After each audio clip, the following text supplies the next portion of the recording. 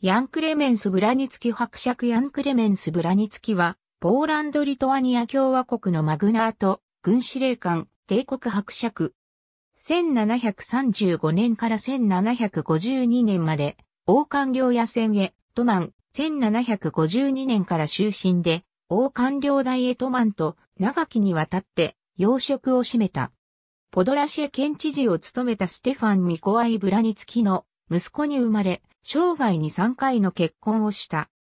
最初は1720年に、ビャワで、リトアニア大法官カロル・スタニスワフ・ラジビュー公の娘、カタジナ・バルバラと結婚したが10年後に、死別、2度目の結婚も離別に終わり、1748年に、スタニスワフ・ポニャトフスキ伯爵の娘イザベラと3度目の結婚をした。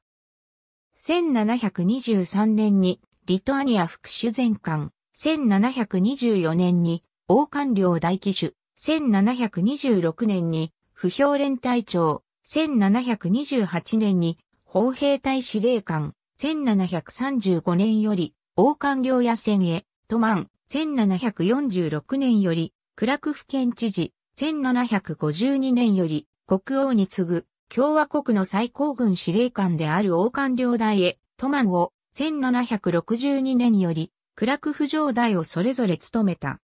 彼は、ブラニスク、ビエルスコビャワ、モシュイスク、ヤヌフルベルスキ、ボフスワフ、ズートリャ、クロシのイェズイエジスクの大官でもあった。彼は18世紀のポーランドで最も有力かつ影響力のあるマグナートの一人で、マグナート派閥の領袖となり、ファミリアに対抗するラジビウ家、ポトツキ家と協力関係を築いた。ブラに月は1763年から1764年にかけて行われた国王自由選挙に立候補したが、妻、イザベラの実弟スタニスワフ・アウグスト・ポニアトフスキに敗れた。国王政府の改革姿勢に反発した。彼はラドム連盟及びバール連盟の組織に協力した。